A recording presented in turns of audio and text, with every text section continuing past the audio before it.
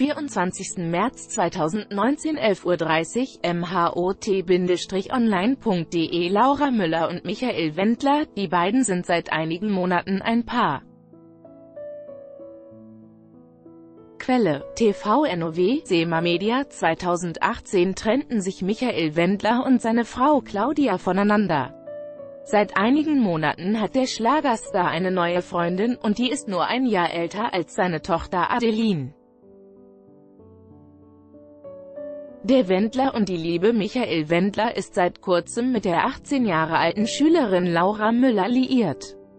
Seine Tochter Adeline feierte gerade ihren 17. Geburtstag. Etwas merkwürdig sei das natürlich schon für sie, erzählt Adeline im Interview mit Vox für Goodbye Deutschland, aber sie akzeptiert es und sieht die neue Beziehung ihres Vaters sogar richtig positiv. Wie eine ältere Schwester, es ist natürlich komisch, das kann auch niemand bestreiten, erklärt sie zuerst und fügt dann aber hinzu, es ist auch schön, jemanden zu Hause zu haben, der fast gleich alt ist, weil die Person kann sich auch manchmal, wenn die Eltern etwas nicht verstehen, mehr in mich hineinversetzen, nicht zuletzt deshalb kann Adeline resümieren, also die Laura ist für mich wie eine ältere Schwester geworden, nie ein Mutterersatz, aber eine ältere Schwester und Freundin. Mehr von Michael Wendler, seiner Freundin Laura und Tochter Adeline gibt es am kommenden Montag, den 25.